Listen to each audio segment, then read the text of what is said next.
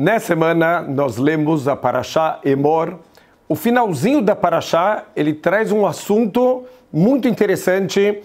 Está escrito, Vayetze ben Israelit, Veu ben Ish Mitzri, Betor ben Israel, Vainatsu bamachane. Teve uma briga entre dois Yehudim, saiu um Yehudi e começou a brigar com outro Yehudi, e de repente, Vaikov ben Israelit, et Hashem, Vaikalel, Vayavi otol Moshe, Veshem imo, Shlomit badivri lematedan. E, de repente, um dos homens que estavam brigando, ele vai amaldiçoar Deus. E aqui a tua Paraxá, ela vai trazer para gente o nome, quem era a mãe. Obviamente que uma pessoa que chega nesse nível de amaldiçoar Deus tem alguma coisa errada na educação, mas o ponto aqui que está chamando a atenção Tá tendo uma briga entre duas pessoas, uma delas vem e amaldiçoa Deus. O que, que Deus tem a ver com essa história? Mais ainda, se a gente continuar, tem uma interrupção. A Paraxá vai começar a falar sobre leis, uma pessoa que causa um dano para o outro, um dano físico, um dano material, como que funciona compensação de danos, e depois a história é retomada. Então, peraí, por que, que essa interrupção no meio? Está falando da briga, interrompe para falar sobre leis de danos e depois volta para a aplicação da pena de morte para aquele que amaldiçoou o nome de Deus. Então, o que, que a gente pode aprender aqui desse ensinamento do finalzinho da nossa paraxá? Fala o Gaon Mivilna que existem duas áreas dentro da Torá.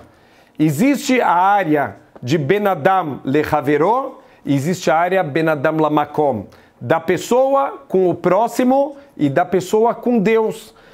Tem muitas pessoas que pensam que a gente pode chegar na perfeição em uma das áreas, mesmo que a outra área a gente seja negligente. Então tem aquelas pessoas que gostam da parte social da Torá. Uau, ajudar os outros é incrível, ajudar os pobres e todo mundo que precisa de ajuda, toda essa parte social eu amo da Torá. Matfilim, fazer reza, essas coisas para Deus, isso já não é comigo. E tem gente, infelizmente, que é o contrário. Tem aqueles que querem cumprir as mitzvot, estudar a Torá e fazer a reza deles na sinagoga, mas eles passam por cima das outras pessoas que nem um trator e não se importam. E esses dois tipos de pessoa, eles pensam que eles, nessa área que eles estão se esforçando, eles estão chegando na perfeição. Fala o Gaon Mivilna, que a gente aprende aqui desse evento que aconteceu, que não tem como ser perfeito numa área sem também trabalhar na segunda área. As duas áreas estão completamente conectadas. Não tem como você brigar com um ser humano e você tá em paz com Deus. Então, se a pessoa ela não está bem com os outros, ela também não vai estar tá bem com o Criador do mundo. E o contrário também. Não adianta a pessoa ela estar tá só bem com o Criador do mundo se ela não se importar com as outras pessoas. Os, as duas áreas elas andam juntas, são duas áreas conectadas. A gente tem que trabalhar tanto no relacionamento com Deus quanto no relacionamento com o próximo.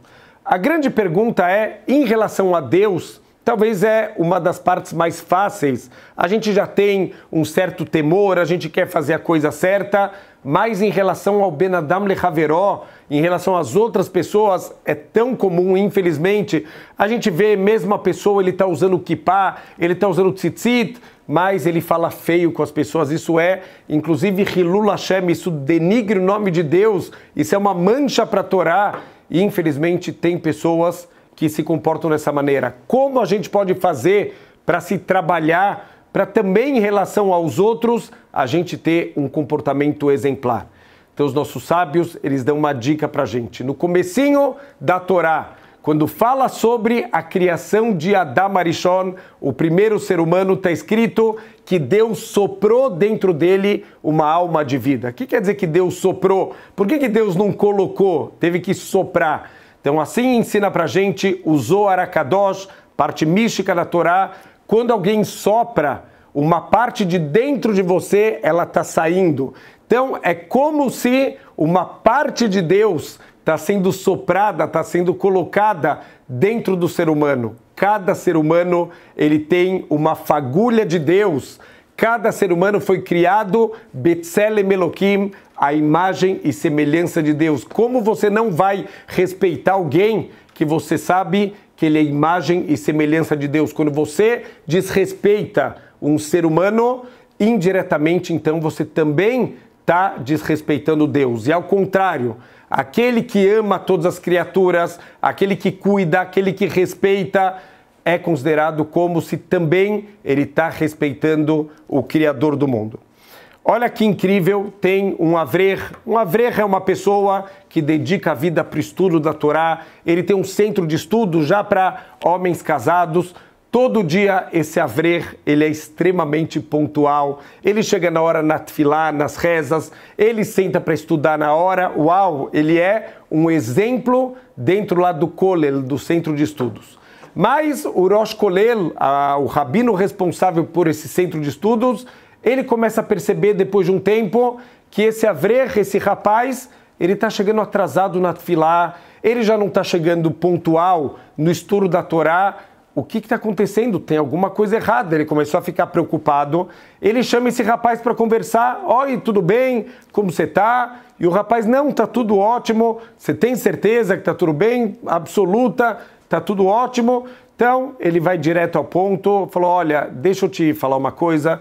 Você era um exemplo aqui de pontualidade, você chegava todo dia o primeiro na reza, você chegava na hora quando é para começar o estudo, você está atrasando todos os dias. O que está acontecendo? Então, esse Avrer, ele fica um pouco envergonhado, mas ele fala: Olha, Rav, eu vou explicar para você. O que, que acontece? Todo dia eu estou saindo da minha casa, o que, que eu vejo?